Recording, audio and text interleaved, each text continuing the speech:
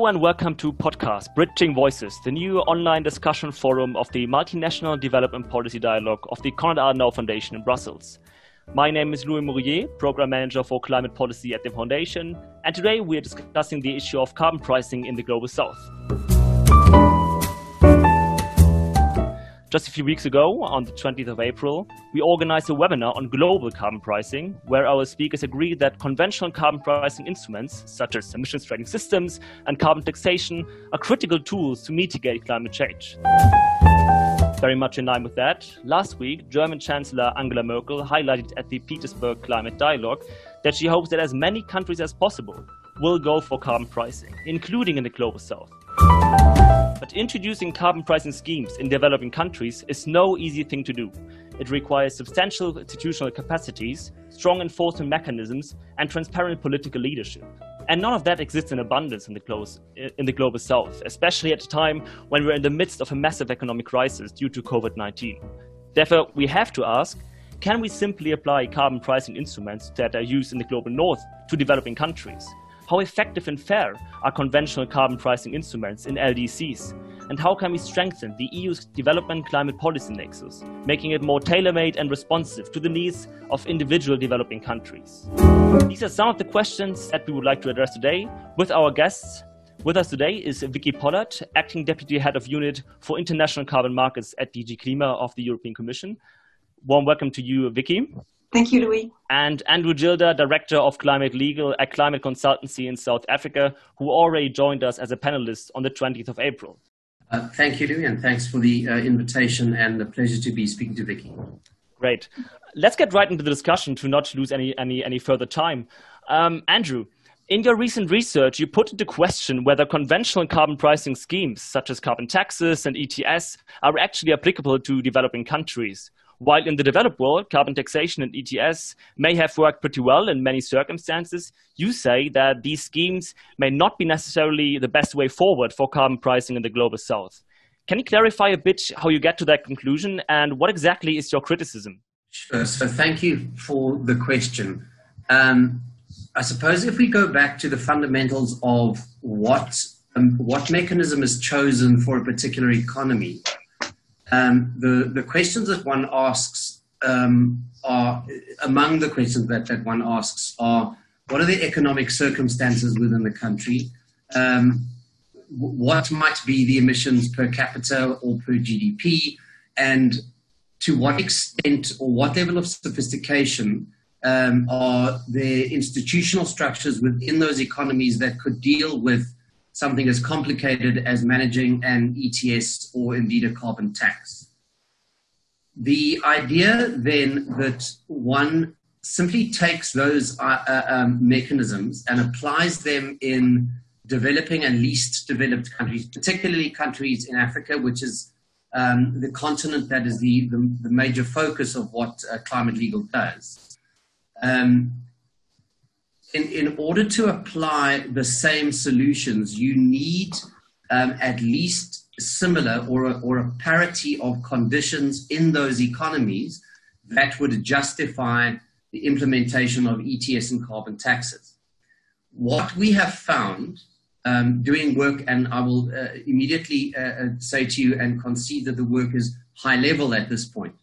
What we have found that while the discussion around the broad topic of carbon pricing mechanisms or approaches acknowledges that ETS and carbon taxes are two of a, um, a suite of mechanisms that might apply. When it comes down to practical advice given to developed, developing, sorry, and least developed countries, the tendency seems to be to default to ETS and carbon tax. Um, there, there are possibly a number of reasons for that. First of all, uh, two, that, two immediately that spring to mind. First of all, ETS and carbon taxation has been used um, for a longer period of time than any of the other mechanisms, that we can talk about, about other mechanisms and, and what they might constitute. But because ETS and carbon taxation have been used longer, there is a greater level of certainty and information about how to implement those um, those approaches and what consequences one can expect. By contrast, because there is much uh, less implementation of other mechanisms, there is a concomitant um, lower level of information. Um, what this all suggests to me is, is that the questions we need to be asking about what are appropriate mechanisms in the developing world and the least developed world, those questions need to be um, more nuanced and go to greater depth of understanding and analysis before we simply default to ETS and carbon tax. And I realize I'm using the word default, and it's, it's probably mildly provocative for a reason. Um, I will acknowledge, though, that there are likely to be reasons why that default happens. So, so Andrew, uh, thank you very much for that overview and for your for your insight. If I understand you correctly, there is a certain tension between effectiveness on the one side and appropriateness on the other. So, a conventional carbon pricing instrument, such as an ETS or a carbon tax, may be an effective tool in general, but it may not be appropriate in developing country contexts. Um, Vicky, over to you. Do you share Andrew's assessment? Are we on the wrong path if we universally apply developed country carbon pricing schemes to the global south? And is there indeed a tendency, as Andrew said, for carbon taxation and ETS to be to be proposed as default mechanisms in most uh, circumstances? I think I'd, I'd like to take a step back um, and talk about assumptions around global carbon pricing. We often hear people talk about achieving a global carbon price. And I think what we need to be clear is that um, we're really talking about an international carbon price because um, it's something which is very determined by individual, individual circumstances and which um, will evolve through um, nation states or regions developing their own systems bottom up. Um, I would also, I think it's also important that to, to, discuss what we mean by the, the global south. Um, the global yeah. south is also very varied. Um, and now under the Paris Agreement, we're in a world where um, commitments are based on nat- nationally determined contributions, which are uh, a country's own assessment of their ability to act on climate change. And so I think it's, it's hard to make generalizations about the global south and the ability to um, take up uh, different mechanisms. But I agree that um, ETS, carbon taxes, are one of a broad sweep of me- suite of measures. Um, it's something that we have a lot of experience on in Europe because of our history. Um, the EU ETS has now been running 15 years. It's uh, a big system which is working well to reduce our emissions, but also um, to do so in a flexible way to allow us to be more ambitious and at the same time raise revenues which are, are being uh, used to a large extent to address climate change, both in Europe but also internationally. So it has many benefits, and uh, we think it's very important that um, we work with others who are willing to, to take on those types of measures to, to uh, make sure that they are developing policies, uh, carbon pricing policies that work for them um, to meet their commitments.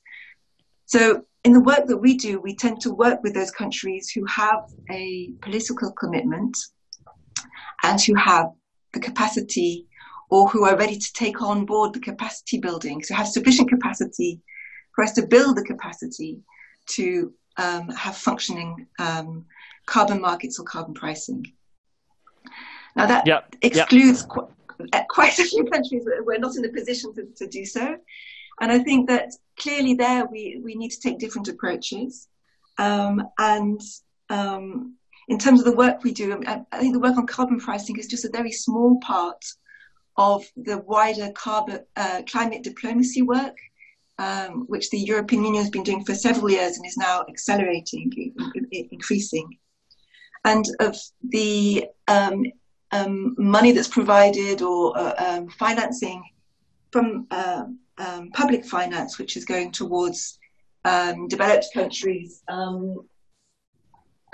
and uh, to, to, support uh, climate resilience and, and, and climate uh, and mitigation.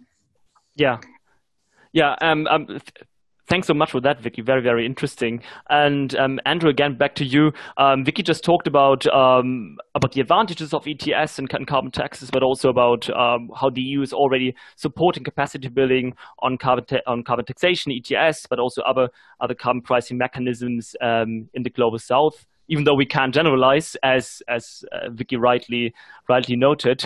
Um, but Andrew, let me get back on you, back to you on that topic. If you if you allow me to be a bit provocative, um, your deliberations and your research basically amount to substantial criticism of existing initiatives that support carbon pricing in the global south. For example, the World Bank's Partnership for Market Readiness is strongly focused on ETS and carbon taxation, and less so on alternative forms of carbon pricing let me be straightforward. Are you implying that these donor funded initiatives are fundamentally misguided? And in your eyes, what would be alternative carbon pricing instruments that are both effective and appropriate in developing country contexts? So let's examine uh, what Vicky has said and, and what, I've, what I've said. So, yes, it, it is a criticism. You are correct. The criticism, though, is not necessarily um, about the choices made, it's about the questions asked to arrive at the choices. So let's take two notions um, that uh, one that Vicky has mentioned and one that you've mentioned. So Vicky mentioned nationally determined contributions and made the, the very appropriate point that because they are nationally determined, um, by implication, they are a statement of what the country thinks it can do. First uh, idea. And the second idea is you mentioned the World Bank's Partnership for Market Readiness. Now, the, the, the outcomes, or, or put this way, the, the, um, the ambition expressed in a nationally determined contribution, possibly as informed by work done under the Partnership for Market Readiness, looks like a statement from the country but if you are dealing with a country that is, and, and let's be clear, I agree with, with Vicky and yourself, there needs to be differentiation in um, approaches taken to different countries, and that's precisely the point. We cannot generalize. And so if the generalization leads to um, a default application of ETS and carbon taxation, yes, I am critical. But let's go back to the underlying question. How does a least developed country without high levels of sophistication in climate and carbon pricing get to the point that they make a statement that they then own as their nationally determined contribution? Well, the answer to that is quite often a donor organization like the World Bank will um, advertise for appropriate technical work to be done that is put out um, to an international competitive bidding process, and international consultancies invariably win that work. And those consultancies, in the main, tend to be from developed countries, which means that they come often with a developed country notion. Um, again, I am generalizing. I will, I will grant you that. The, the, the, the point I'm making, though, is that um, just because a nationally determined contribution is stated as being owned by a particular least developed or developing country does not mean that the nuts and bolts and the practicalities of that um, NDC um, express precisely what is possible within, within that country. It may well be that decision makers or policy makers within those countries have accepted the informed advice of a developed world consultancy and gone, well, yes, that seems reasonable. Let's do that. My question again is let's look at the underlying reasons for why that um, solution was constructed in the first place. Is it appropriate to that country? And so, yes, I'm asking the question are NDCs, notwithstanding the fact that they are stated as being owned by the countries, are they all um, and completely and comprehensively appropriate to that country. We have found that that in fact is not the case. Yeah, yeah. I think I think I think Andrew, we, I think that's something actually we, we well understood. So there are no one size fits all solutions, and too often apparently there's a tendency to use developed country schemes and approaches and simply apply them to to uh, developing countries or LDCs. But coming back to the question that I um, the second question that I ask you, what are good and functioning and appropriate alternative carbon pricing instruments that can be used in developing country context. Can you name and perhaps explain a few uh, alternative solutions? Sure. And I mean, they, they are not uh, they are not unusual. Uh, um, anybody who, who has read uh, um, to any depth in the carbon space will, will know them. Let's talk about ETS and uh, taxation very very quickly. Um, they are appropriate in highly industrialized economies with um, a number of very large point sources of greenhouse gas emissions. If you're an economy that does not have that kind of um, uh, uh, uh, series of point sources of greenhouse gas emissions, um, then what, what do we do in those economies? Let's take a country like Ghana. Ghana has a, um, a very large um, sink capacity, and I, I realize there are, there are queries around sink capacity, but let's just take it as an example. Andrew, Andrew, Andrew, let, let yes. me interrupt. Can you shortly explain for our listeners who, know, who are not all uh, climate policy experts, uh, what are sink capacities? Sure. So in this instance, in the Ghanaian instance, a sink uh, re- refers to a mechanism, usually a natural mechanism, that um, as a result of its normal operation, um, absorbs uh, carbon dioxide. So um, old growth forests have long been acknowledged as um, very important international sinks. I mean, your listeners will uh, no doubt have been aware of the, the, the current discussions um, uh, that are ongoing around Brazil. And, you know, the, the incumbent administration's view that the, the Amazon is, is not, in fact, a, um, um an asset uh, that uh, should be applied for the benefit of, of humankind in general or, or worldwide. It is, in fact, an asset that needs to be applied purely for uh, Brazilian economic development. Okay, I, I, understand that. But there is significant value in those old growth, for, old growth forests um, that will allow for absorption of carbon dioxide. Let's go back to Ghana. If you go into Ghana and you say, well, the solution from a carbon taxation, uh, sorry, a carbon pricing mechanism perspective is you need to have an emissions trading scheme. Well, what emissions are you going to trade? Who are going to be the parties that will trade? That's an important question in the yeah. context of the fact that the, the, the most significant value that Ghana represents from a carbon asset perspective is the ability of its forests to absorb CO2. That is as valuable an asset as being able to reduce industrial greenhouse gas emissions in a developed country. At the moment, though, although there are certainly efforts in those countries to utilize those capacities, um, there is less attention being paid to how that kind of example can be wo- woven together with other approaches, for example, um, landscape management, or indeed results based options into a, a fabric or a tapestry, if you like, of approaches rather than going, well, the thing we know uh, most and the thing we can implement easiest is a tax. So let's do that. Yeah. Uh, thank you so much, Ben, for, for, for giving us some some some ideas which could be alternative solutions to ETS and, and carbon taxation. Uh, um, but I think your your example of Ghana actually leads me to another topic that we would like to um, address today, and that's the topic of climate justice and fairness. As you said, um, when we're dealing with countries like Ghana, we're in completely different contexts that cannot be compared to um, highly industrialized, industrialized, countries as we have them in the European Union, for example. Um, so, beyond the question whether individual carbon pricing schemes are applicable to developing countries, carbon pricing as such remains a very contentious issue in the global south. It raises concerns over industrial development, international competitiveness, and climate justice. Uh, Vicky, several studies say, for example, that carbon prices need to amount to at least 35 to 40 euros to incentivize strong reduction greenhouse gas emissions. I think do you I think you agree with me that it's not realistic to expect LDCs to pay such a high carbon price anytime soon. And if that's the reality, what could be appropriate and fair instruments to incentivize greenhouse gas emissions reductions in developing countries in the next years? I think to be clear, we're not asking LDCs to pay 35 euros per ton.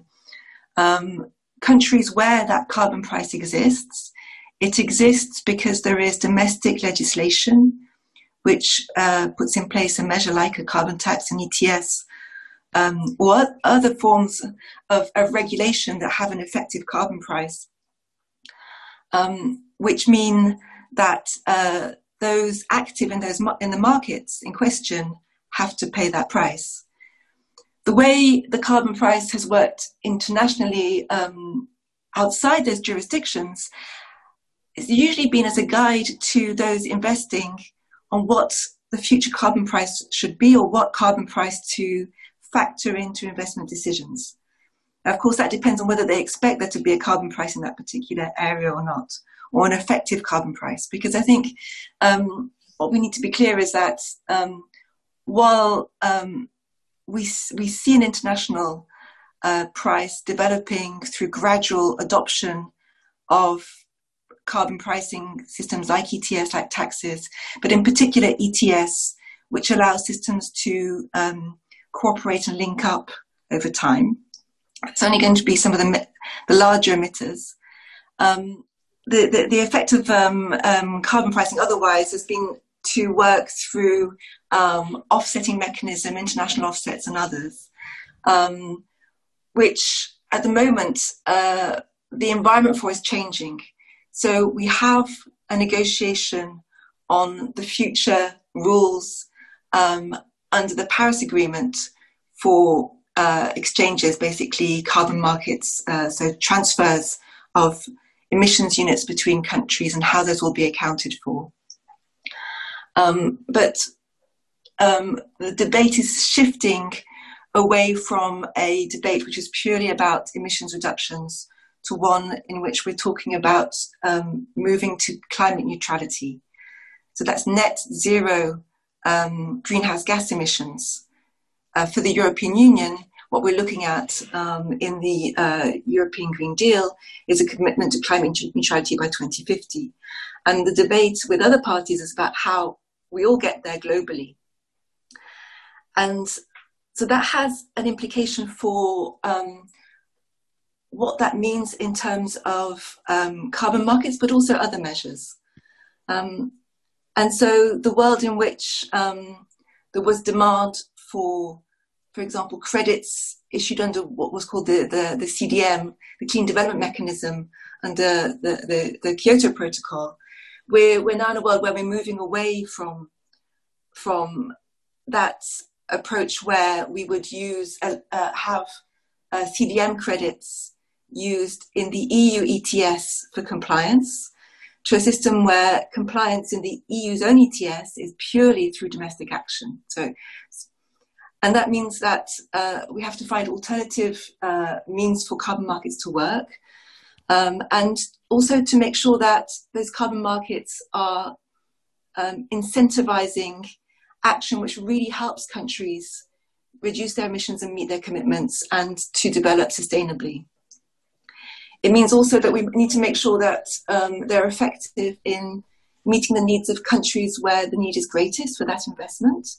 Um, and I think, in particular, if you look in, at the past, a lot of the flows from uh, international carbon markets were going to, again, to countries with more capacity. Um, and there were fewer flows of, um, for example, money via the CDM to LDCs. I think that this is the sort of thing that we need to address and to look at um, not just within the international uh, um, carbon market, but also through other forms of financing coming in, how we have policies which work in countries to create the right incentives. Because a carbon price is about an incentive. Yes. And what incentives can you put in place in different systems, different economies? Yes. And what's thank needed. You. Yeah. If I may pick up. Of course, of course. From, from that. So, so thank you, Vicky. That's a really important point. So let's let's tie this together um, around the, the Ghanaian example, but but let, us be clear.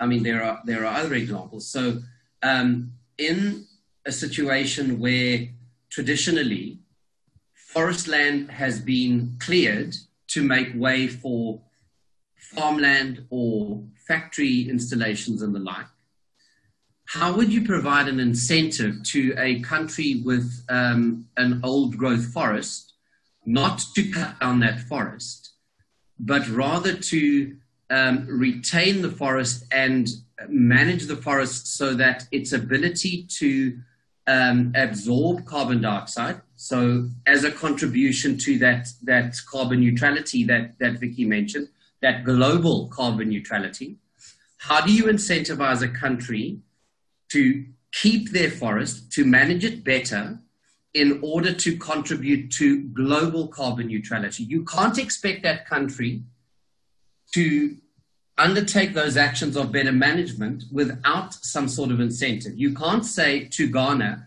listen, for the, for the general good of humankind, you cannot develop.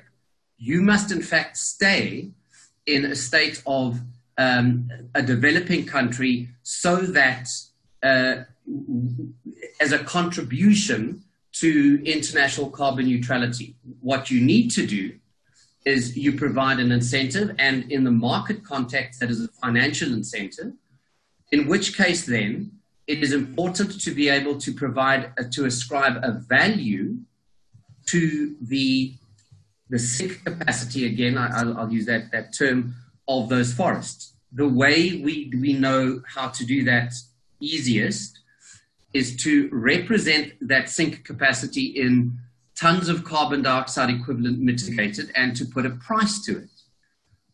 There are, there are two consequences of doing that. Firstly, in countries where economic indicators uh, might be less prevalent, so w- where there might be fewer um, sources of um, asset value um, within the country, if you ascribe a price to a forest, what you've done is you've created an in country economic indicator. So you've valued an asset indexed to an international price that now provides that country with um, an extra financial or economic means to uh, pursue its development ambition. How do you get the finances into that country? You allow for the, that sink capacity, for that carbon value to be utilized by other countries on the payment of a price. So there is a financial flow into that country which um, can perhaps support development. And I, I uh, um, take on board completely Vicky's point about the need, therefore, and, and it ties to a comment I made earlier, for capacity building and um, the development of expertise in those countries to understand precisely what it is they've got and how they can use it. I yeah. have a caveat there, and the last comment though, is that that capacity building is very often framed as the um, requirement of the, the, the, the country or the, the block or the organization that is providing the funding or the financial support for that capacity building. There are much more fundamental questions that need to be asked in country across all 193 countries of the Framework Convention on Climate Change, and the answers might be different times 193. We've never gone to that level of, of detail to this point. Yeah, thank you to, to both of you for that very important discussion about uh, the right incentives, financial incentives, but also about noting that uh, when we want to get to a global carbon market under uh, the Paris Agreement, or if we want to strengthen carbon pricing um, across the world, capacity building is of major importance. Um, perhaps, but, but just, just a follow up question because some developing countries have already uh, implemented a financial incentive um, using their capacities uh, and their institutions that they have built over the past decades. Um, and they have implemented some conventional carbon pricing schemes, for example, South Africa, but still um, pri- carbon prices at the moment across uh, the global south remain pretty low. In South Africa, for example, uh, I think uh, the, the, the carbon tax stands at around five euro. Um, so the question is perhaps to you, Andrew, is there a risk that carbon pricing will make the global south simply less competitive without having any tangible effect on climate change? And that, of course, would be another major concern on climate justice in the whole question of carbon pricing. Um, yes, exactly. And so, uh, what that then suggests is, is yet another fundamental question um, around how one designs the, um, the, the future. And if, if, if one is speaking from a, um, a developing country perspective, as I am, then the question of climate justice is, is really important. Um, I, I, mean, I hesitate to do this, but, but uh, uh, for example, if one takes the current debate in Europe around uh, carbon border tax adjustments, and European countries simply impose border tax adjustments. So effectively, that is a, an extra levy, and a new tax on manufactured goods um, coming in from countries with um, higher levels of greenhouse gas emissions. So implicit in, in each manufactured unit is a higher level of greenhouse gas emissions. And those emissions are taxed at the border. What you will be doing if you do not moderate that sufficiently well, what you will be doing is imposing a competitive disadvantage on the exporting country. There is a lot of wisdom to border tax adjustments. The question is if you're going to implement a, a, a border a tax adjustment, are you, is your premise simply to limit the import of um, carbon intensive goods into the receiving country, or are you also creating a system that allows for the exporting country to seek to reduce its carbon intensive economy so that it will remain competitive even in the face of border tax adjustment? That that guides me directly to my next topic. Actually, thank you so much, Andrew. Um, and and I think Vicky, you expected the question on the border carbon adjustment since it's such a controversial policy across the world. Um, I don't want to get into complete details on the BCA since we already discussed that during our webinar on the 20th of April. But still, uh, Vicky, you, you, hear that the, the, initiative still remains very controversial. And and the question is, what will the EU do to ease these concerns of the global south? Uh, as for example, that all revenues earned uh, through the border carbon adjustment, uh, once it is implemented, should be rechanneled, redirected to the to the to developing countries, thereby increasing the EU's uh, climate finance. Is that something that the Commission is considering um, at the moment?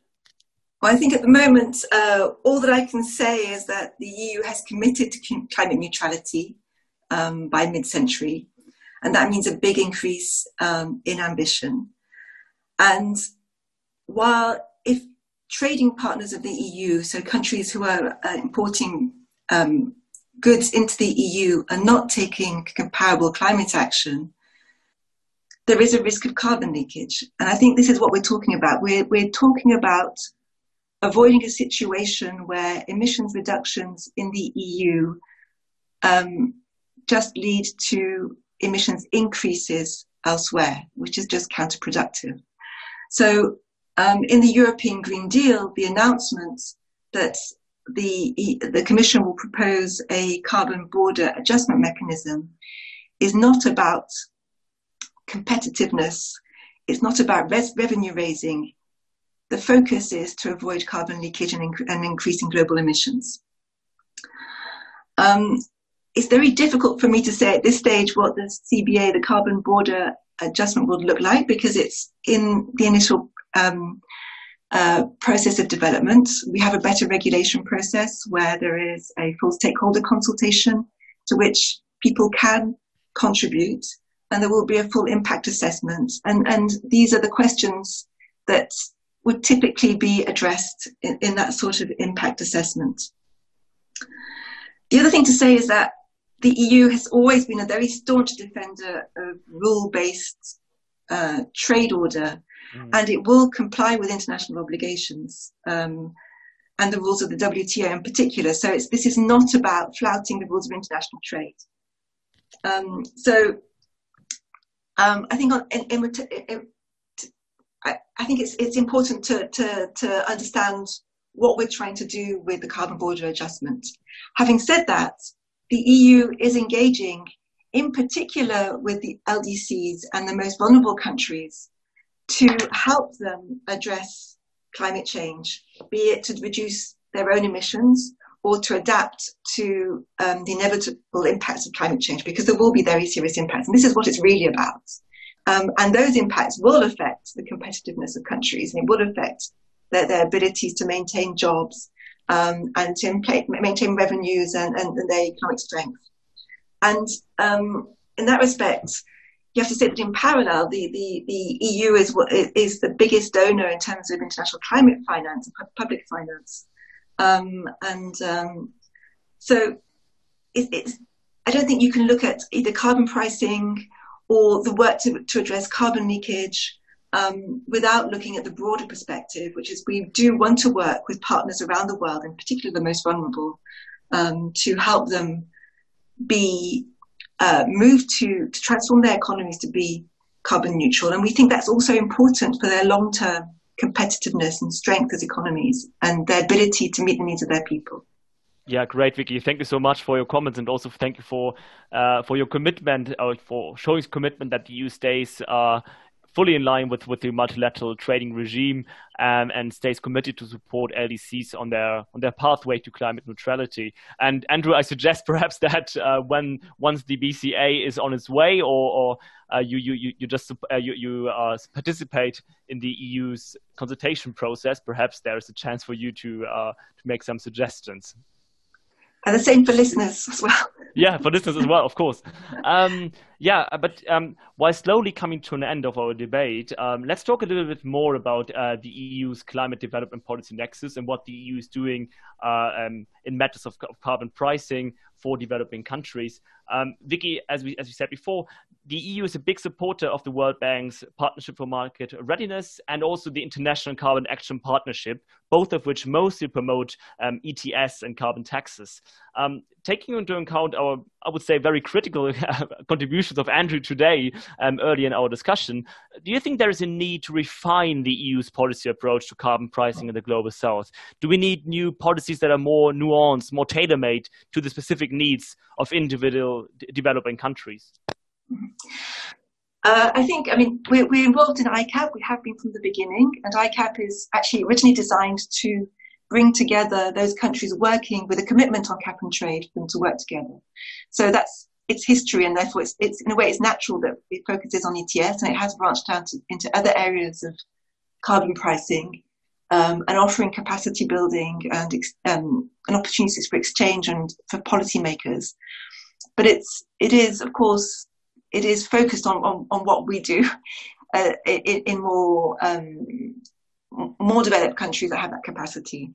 The, the PMR, the Partnership for Market Readiness, again was set up to help countries who were committed to looking at carbon pricing, but also had a certain level of capacity to, to, to look at carbon pricing mechanisms. And again, it was set up with those particular um, carbon pricing mechanisms in mind. However, it has provided a lot of support in terms of developing the basic infrastructure needed for functioning carbon pricing in, in, in many different forms. So, for example, a lot of support for um, monitoring, reporting, and verification.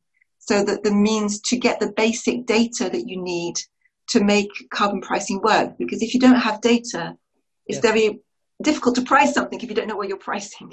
And so, um, and you need that system to be secure enough and not open to fraud and um, abuse.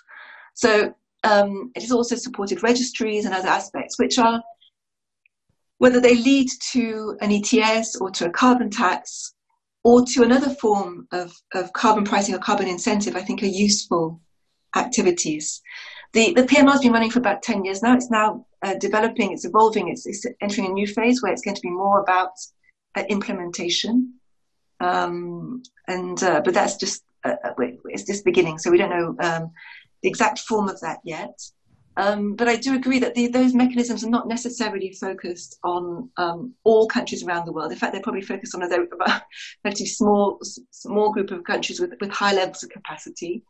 And I think it is important to um, um increasingly think about how we develop um, our approaches to work with LDCs, in particular Africa. The EU has a very strong focus on Africa.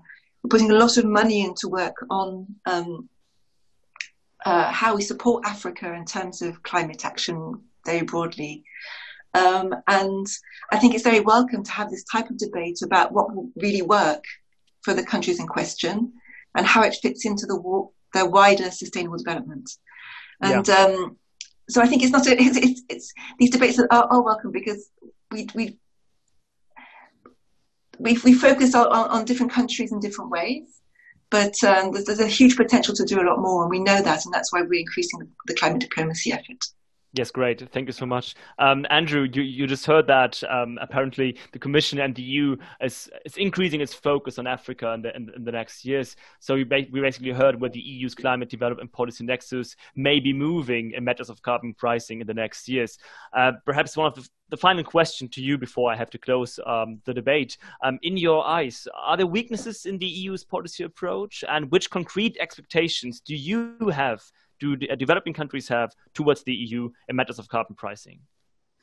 So, let, let, so I'm grateful for Vicky to to have made the point that the, this kind of debate that we're having right now is really important. Um, and and let me tie some threads together, Louis, in, in responding to your to your query.